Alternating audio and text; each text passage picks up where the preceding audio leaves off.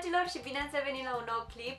Astăzi în sfârșit fac un nou videoclip din seria în care testez chestii ciudate asiatice.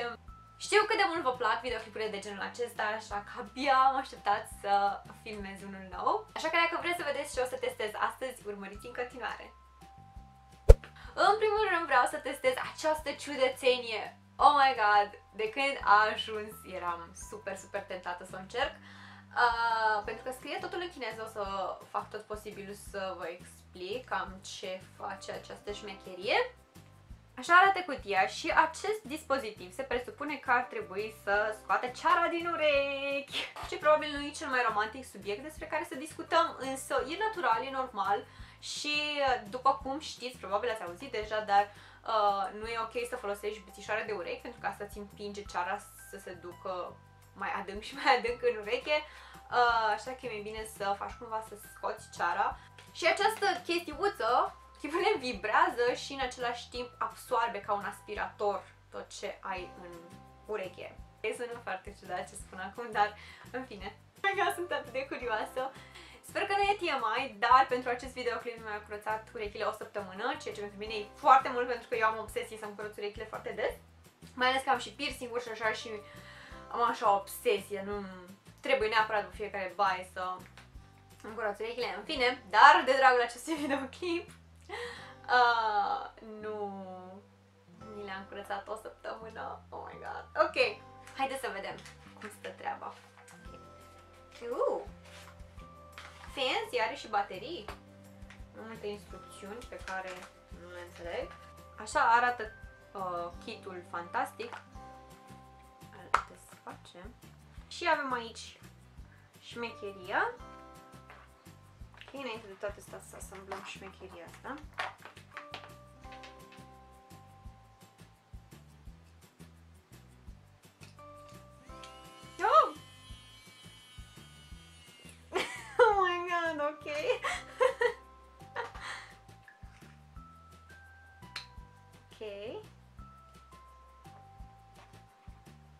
Oh my god, arată înfricoșător. Nu știu cum să vă zic, dar nu sunt entuziasmată absolut deloc să bag chestia asta în ureche. Deloc.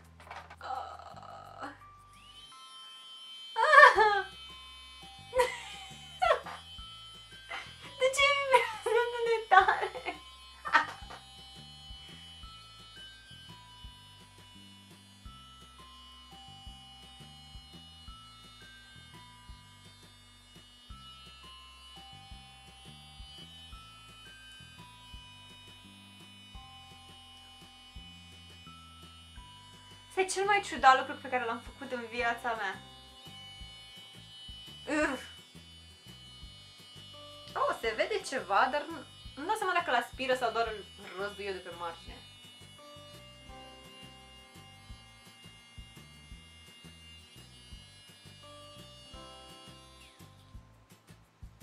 Ok. Nu știu exact unde ar trebui să mă uit după... Uh, ok. Sunt confuză. Îmi dau seama dacă am curățat numai cu spatula respectivă sau dacă chiar ai aspirat ceva sau dacă a avut ce să aspire. Pentru că are înăuntru o sită, nu cred că puteți vedea, în fine, și acolo ar trebui să oprească ceara, însă nu văd nimic în afară de ce s-a luat puțin pe spatula asta. Nu-mi place sunetul ăsta, nu-mi plac vibrațiile. Mi atinge piersul. Că aici se strângă mai mult. Ok, o să vă arăt oricum. o să fie super scârbos. Vedeți? nu a fost aspirat, dar s-a luat exact pe margine, exact pe spatulă. Îmi pare rău, însă trebuia să vă arăt să vedeți dacă funcționează sau nu. Iu. În continuare e dezgustător și satisfăcător în același timp.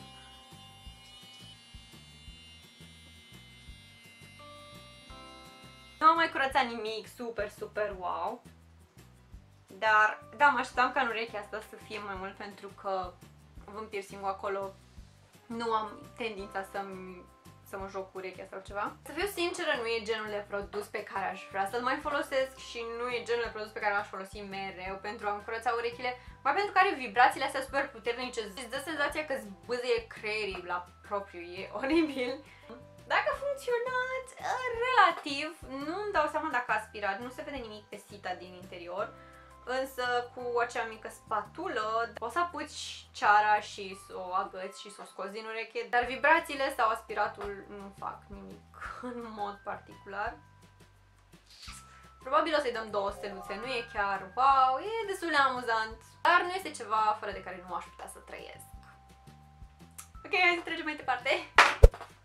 Ok, următoarea chestie este această șmecherie. Se numește Face Up Roll pentru față și pentru linia feței, scuze, pentru linia feței și pentru linia gâtului. Cam așa arată. Și avem și câteva instrucțiuni pe spate. Această șmecherie ar trebui să ne facă, să ne subțieze fața, așa să ne facă mai suplă și să ne scape de uh, double chin, de gușiță. Evident că această chestie nu ar putea să dea rezultate imediat, dar este interesant să o folosim împreună, să vedem dacă ar merita sau nu. Chestiile astea două din lateral sunt pentru uh, față și aceasta este pentru gușiță. Eu mă gâdil foarte tare, așa că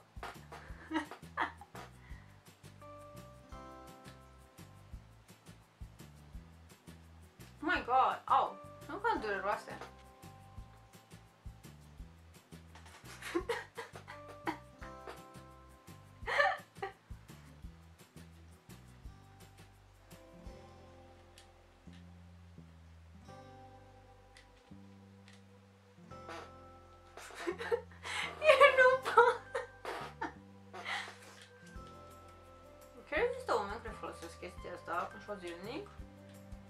Oh my god, simt că um, simt că mă sugrumă.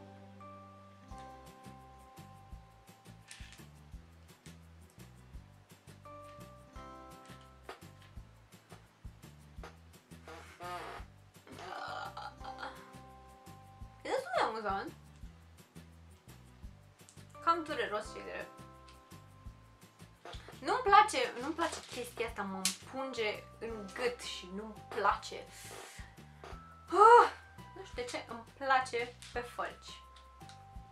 Poate pentru că am și fălcile destul de chubby așa și pentru că mă clizesc foarte mult, mă mai dor obrajii din când în când, chestia asta chiar mă relaxează.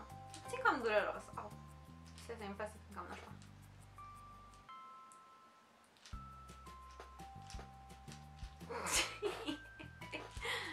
Ok. Nu știu ce să zic despre asta.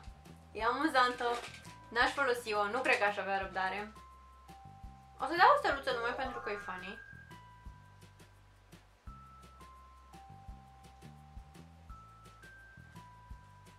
Nici nu cred vă dați seama de când aștept să încerc și eu creta colorată pentru păr. Probabil o ziceți, Irina, trendul ăsta a trecut de multe. E bine, eu cred că în continuare creta colorată pentru păr este o idee super simpatică pentru, eu știu, uh, cei mai mici de vârstă, care vor ceva drăguț, vor o mică schimbare, vor să facă ceva, eu știu, mai uh, nebunesc așa. Creta colorată se duce după o singură spălare, mult mai repede decât uh, orice nuanțator, Așa că haideți să vedem, poate o să vi se pară o opțiune foarte bună în cazul în care vreți să vă faceți o mică schimbare. Aceasta este cutiuța și avem aici... Opa. Uh. Oh! Oh, unele bucăți s-au cam spart, ok. Nu arată foarte ok. Vezi, negrul s-a spart, în rest totul arată drăguț. Uh, avem destule, sunt destul de multe culori, îmi place, îmi place că avem opțiuni. Cred că o să mă duc să pun un prosop pe mine pentru că mi-am și ales o bluză neagră pentru acest clip, deși știam că o să încerc cretă. Mă rog. Vin imediat. Ah, e ideea era. Cred că o să-mi fac câte o șuviță pe aici, pe acolo. Primul rând vreau să încerc albastru și o să încerc acest albastru super deschis, precum cerul.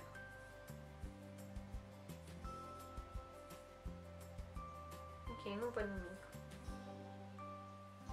meu nici nu e foarte deschis, adică este un ombre în momentul de față, dar nu e chiar blond-blond. A, se vede puțin, deși m-am făcut mai mult în palmă decât de păr.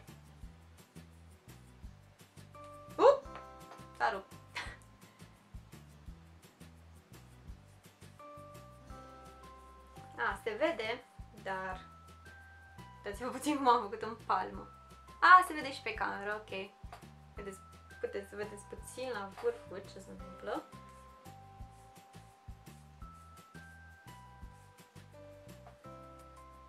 Ok. Da, s-a prins puțin, dar nu foarte tare. Haideți să încercăm o culoare puțin mai puternică. Încercăm un roșu. Să iau o, o altă șuviță.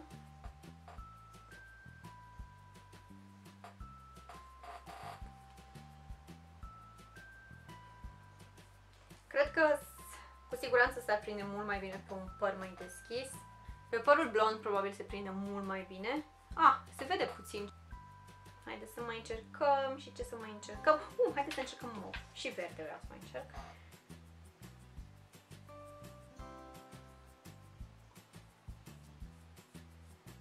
Ah, mov se prinde chiar binișor. Nu vreau să dau seama dacă se prinde mai tare pe palma mea sau în păr.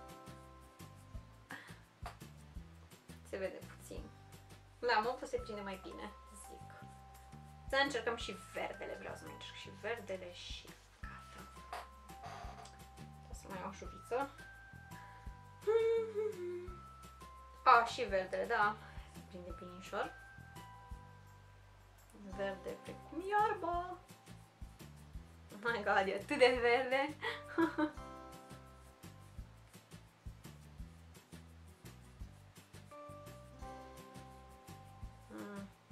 Se vede, dar nu se vede atât de tare.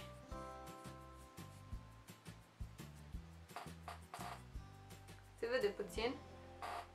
Nu știu cât de bine puteți vedea ce s-a întâmplat aici, dar se văd câteva șuvițe colorate pe aici pe acolo. Nu arată rău, sunt simpatice, sinceră să fiu. Dacă, sunte, dacă aveți părul puțin mai deschis decât al meu, cu siguranță se vede mult mai bine. Cretei colorate cred că o să-i dau 3 steluțe.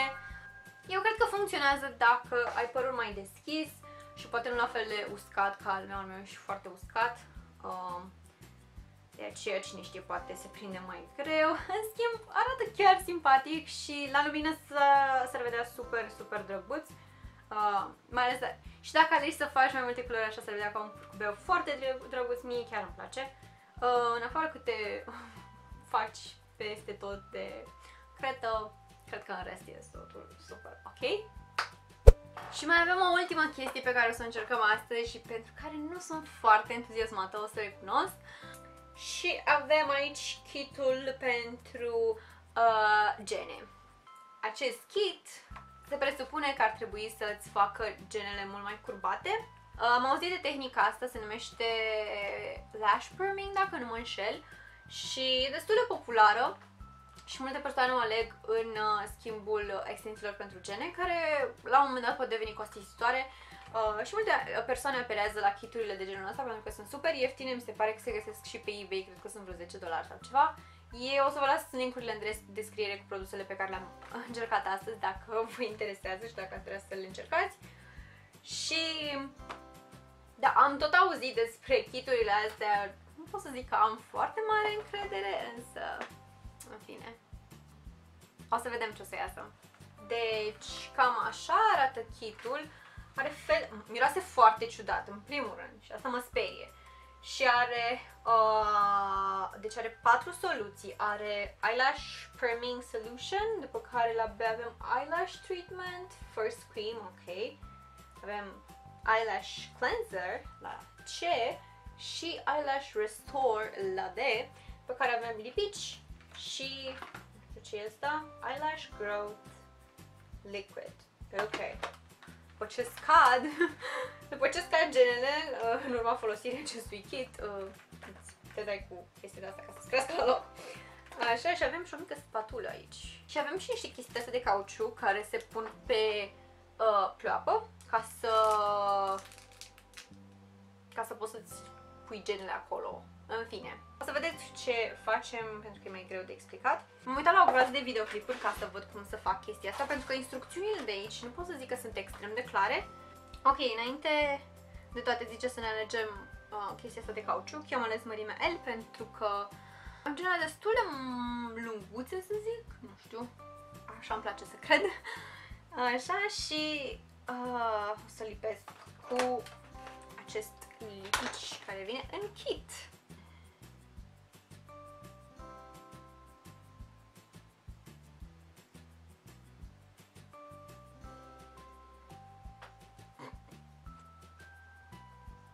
N-am nici cea mai vagă idee ce fac.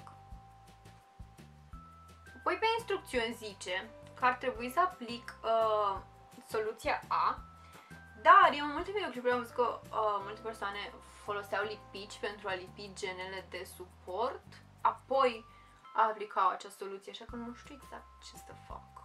Să aplic și eu lipici? Haide să aplic și eu lipici. Că... Da.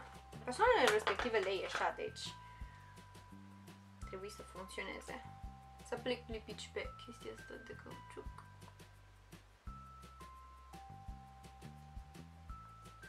Opa! Bravo mie!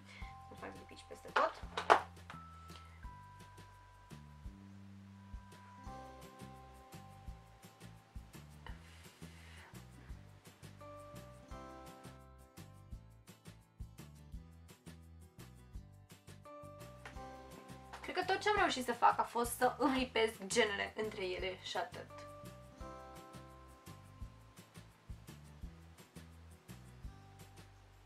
Da, în fine, mă dau bătută, aplic direct această soluție A pentru că nu o să am stare să trec prin toți pașii ăștia până la final.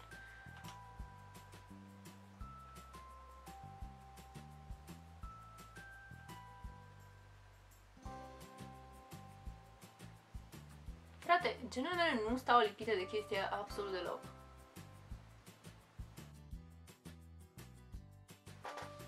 Nu cred că o să reușesc nimic. Și chestia asta mă frustrează groaznic. Și probabil o să fie nevoie să le pieptăn așa în sus timp de 15 minute încât să stea, pentru că nu stau lipite absolut deloc.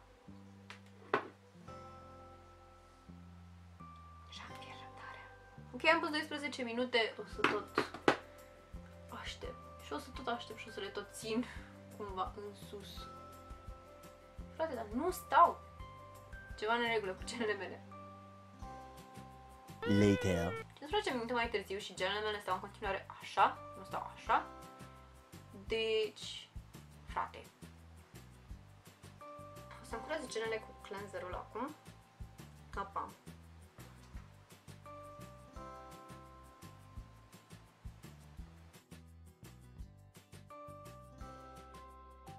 Acum să aplicăm serul B. Uh.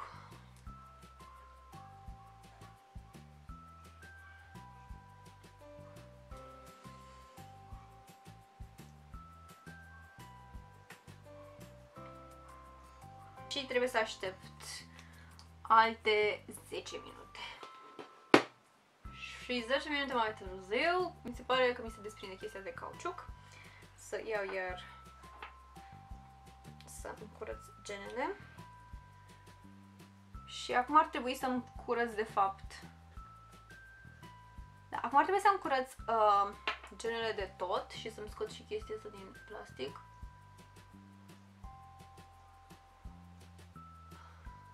Uh. Ok, o să aplic și eyelash restore something.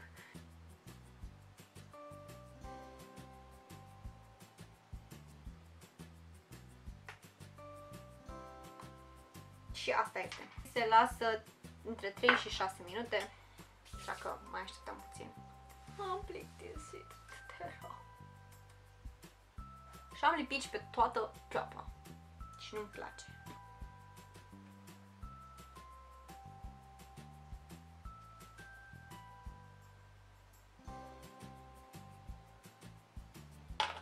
Ok, și acum o să aplic eyelash growth chestia asta. Pe crește dacă aplic rimel, după aia nu aplic nimic, frate. Aplic imitația asta de rimel, evident că o să mi se pare că arată wow, când de fapt nu este absolut nicio diferență, doar că acum genele mele sunt ude și lipite între ele. Spuneți-mi voi dacă vedeți vreo diferență, pentru că eu nu văd absolut niciuna.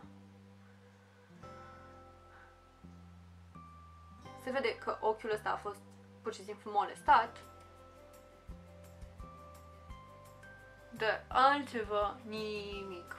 Dar aici sunt genele pe care le-am făcut și aici sunt genele mele normale și nu mi se pare nicio diferență.